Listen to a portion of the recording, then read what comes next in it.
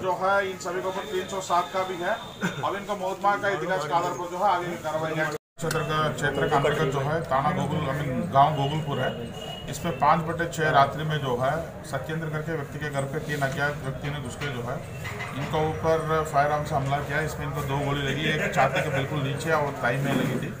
हमारे एसओ साहब स्वयं उधर जो है, गश्त में थे तो तत्काल रूप से इनका मेडिकल असिस्टेंस दिया गया है। कि इनका जो है जान जो है सही सलामत जो है बच पाए हम लोग।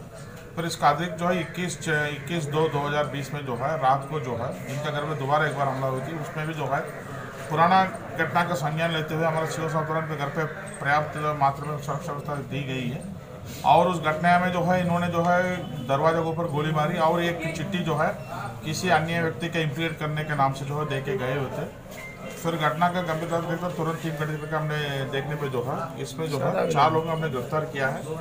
इसमें सुरेश पाल इसका मास्टर माइंड है, इनका केस में जो है, जो सत्येंद्र है, उनका मदर काम करती है।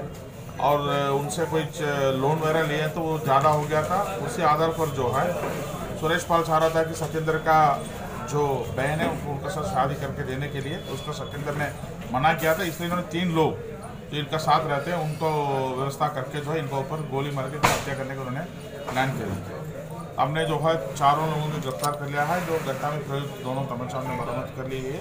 अभी आगे का इन्वेस्टिगेशन था बस वो सब पता